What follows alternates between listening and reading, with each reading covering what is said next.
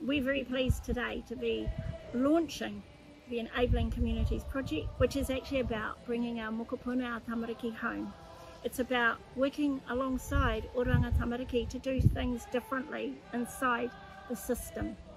To do things differently, it's about introducing a new model, a model that is led by tikanga, a model that is led by place, um, being driven by communities and by hapu and iwi from where they are and having our children immersed in their own whakapapa and their tikanga as solutions for their future out-of-state care.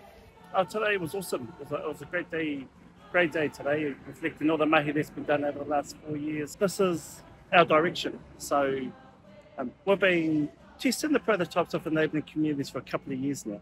And enabling communities is really about what, we, what we've launched today, which is shifting that decision making and resources closer to our communities.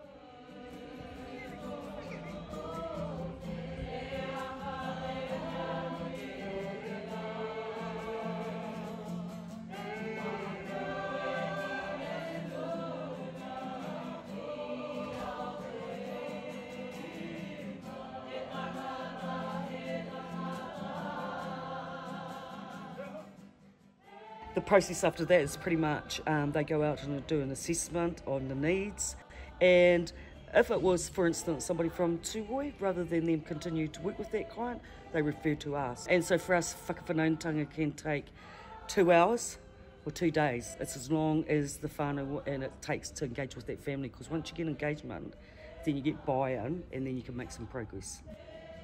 Our iwi of Ngāti like many of the other iwi across the country, have for many years, about 30, 40 years, been talking about having our children, our tamariki, our mokopuna, returned home to their people, whānau, hapu and iwi. The difference between the system we're introducing today as Te Pūkaya and the system of yesterday is today's system, our new model, is about respecting the place of whakapapa, respecting the place of tikanga in the solution for our whānau moving forward.